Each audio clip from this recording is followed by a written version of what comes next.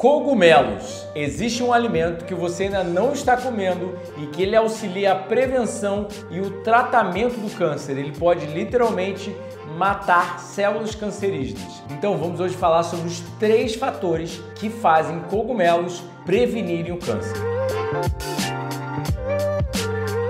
Sou apaixonado por cogumelos. É um dos alimentos que eu gosto muito, muito, muito, mas infelizmente eles são ainda relativamente caros no Brasil comparado a outros países de primeiro mundo, por exemplo. E é uma coisa que poderia ser muito mais viável e muito mais disponível à população, mas o brasileiro não sabe e o mercado não sabe a importância desses alimentos para a nossa saúde. Então, se você ainda não sabe mais sobre os cogumelos, vou te sugerir clicar aqui no, nos cards e aqui na descrição, porque tem vídeo de cogumelo aqui no canal mostrando todos os benefícios e as formas de consumir, etc. Mas, vamos lá! Olha o que os artigos médicos científicos mostram. Existe uma associação entre um alto consumo de cogumelo e uma, um baixo risco de câncer, principalmente o câncer de mama. Então, por que os cogumelos são bons a nível nutricional? São pobres em calorias, carboidratos, restrição calórica é preventiva do câncer e de outras doenças, sódio, gorduras e livres de colesterol. Eles são ricos em compostos bioativos, o que a gente chama de fitoquímicos, os nutrientes das plantas então, flavonoides, carotenoides, ácidos fenólicos, fibra, polissacarídeos, ou seja, carboidratos que auxiliam a fermentação e a, a alimentar nossas bactérias intestinais, até mesmo vitamina D, que muita gente não sabe, é a D2, mas ainda tem, e vários antioxidantes importantes na prevenção do câncer. E muito se acha que esse efeito preventivo dos cogumelos é devido aos antioxidantes. Eu discordo é sempre devido a todos os fatores nutricionais, os benéficos e a isenção dos maléficos, né? Ou seja, não ter colesterol como a carne já é um fator benéfico. Não ter excesso de ferro M como a carne já é um outro fator benéfico. Então nunca é só um fator, mas é sempre multifatorial. E também o que a gente acaba deixando de comer para colocar esses alimentos no prato.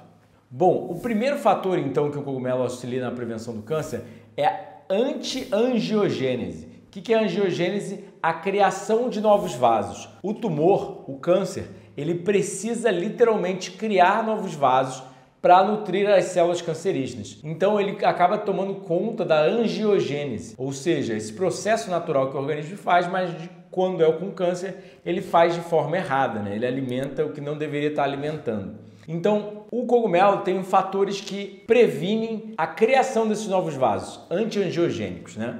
Aí olha o que o artigo médico científico fala. Devido à frequente resistência às drogas, aos remédios, né, ou seja, o câncer resistente aos remédios, ou não desejados efeitos colaterais, desenvolvimento de terapias de diferentes formas é um campo importante no desenvolvimento na luta contra o câncer. E cogumelos têm se mostrado e seus o extrato dos seus compostos tem se mostrado não tóxico e inibe vários alvos de vias específicas oncogênicas, ou seja, os compostos nutricionais do cogumelo auxilia a inibir várias formas que o câncer começa a se proliferar no organismo, né? E também são potentes imunomoduladores que o câncer e principalmente a quimioterapia, a radioterapia leva à imunossupressão, ou seja, prejuízo do nosso sistema imune, porque naturalmente nosso sistema imune conseguiria lidar com células cancerígenas. Então, nessa pesquisa, eles acharam um significante efeito antiproliferativo e pró-apoptótico em células de câncer, é, em linhas de células de câncer colorectal. Ou seja, o cogumelo não só inibe a proliferação das células do câncer, mas auxilia também a morte das células do câncer a nível programado. Fica até o final para a gente aprender um pouco mais sobre os cogumelos e como comê-los. Mas não se esquece, se você quer minha ajuda como nutricionista clínico, eu presto atendimento nutricional online, presencial, tem cursos online, seis já, nove livros já publicados e retiros presenciais sempre em janeiro e julho para você mudar o seu estilo de vida. Ah, e além disso, não se esquece, se você chegou agora no canal, não se esquece de se inscrever no canal, apertar o sininho, comentar, compartilhar, sentar o dedo nesse like que vai te ajudar a levar essa mensagem a mais pessoas. Não se esquece, tem alguém preocupado com câncer? Compartilhe esse vídeo. Segundo fator que os cogumelos previnem do câncer.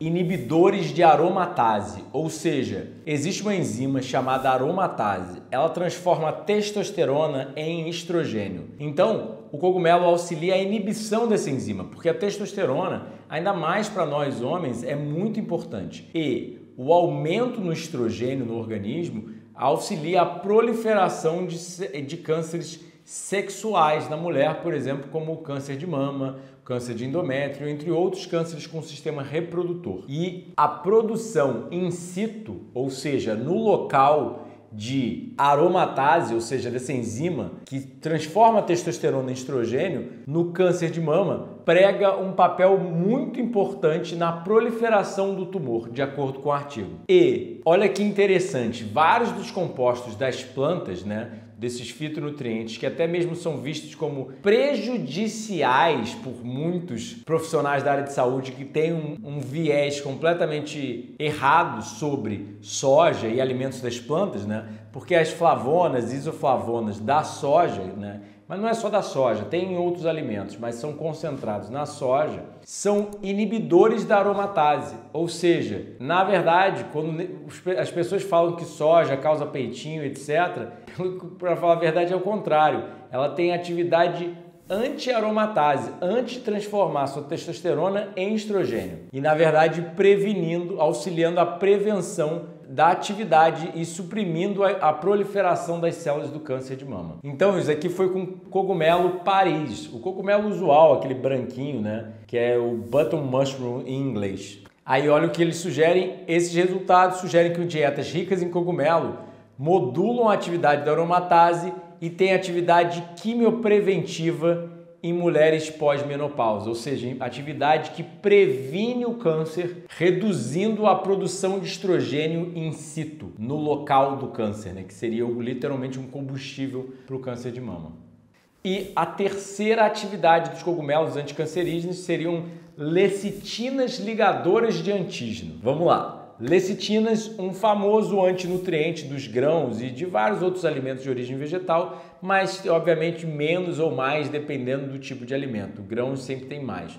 Mas ainda assim, então são lecitinas que se ligam a antígenos. Ou seja, o que é o antígeno? Antígeno é uma substância desconhecida no organismo, prejudicial, que aí o corpo vai lá produz o anticorpo, né? O antígeno e o anticorpo. O anticorpo vai lá e se liga a esse antígeno para auxiliar a remoção dele do organismo. uma espécie de um cogumelo bem comum no mundo ocidental tem efeito antiproliferativo nas células de câncer epitelial, sem citotoxicidade, ou seja, sem ser prejudicial à célula, ou seja, quimioterapia, etc., né, tem citotoxicidade, ou seja, os tratamentos usuais, remédios, são citotóxicos, ou seja, tóxicos à célula. O bom do cogumelo é que ele inibe a proliferação do câncer por vários fatores, mas ele não causa prejuízo às células saudáveis. Então, para finalizar, quais são os tipos de cogumelos e a melhor forma de comê-los? Tem vídeo de cogumelo aqui no canal, como eu já falei, não se esquece de assisti-lo, mas eu como meus cogumelos crus. Muito se falava sobre toxinas de cogumelos que precisavam ser cozidos. Eu já saiu um, eu já vi um artigo sugerindo que cogumelos crus seriam sim seguros. Eu como assim há 16 anos eu vejo muita gente no mundo crudívoro também consumindo os cogumelos crus, mas se você não quiser, tem as formas sempre de cozinhá-los de forma menos nociva, né? Ou seja, cozinhar um pouquinho só ou jogar no vapor, várias formas de prepará-los. Eu, por exemplo, jogo em molho, fatio na salada, como na mão. É, às vezes até mesmo cogumelos secos eu uso nas receitas, né? Depois hidratados. E tem, tem várias formas de comer cogumelos. O importante é alimentos da natureza frescos, integrais, são melhores do que alimentos ultraprocessados, proteína animal e por aí vai. Então, inclua alimentos naturais na sua dieta das plantas para atividade anticancerígena, quimiopreventiva. E não se esquece, clica nesses vídeos, se inscreve no canal, aperta o sininho, comenta, compartilha e assiste nossa playlist de câncer e leia o livro Dieta de Câncer para se beneficiar sobre o assunto.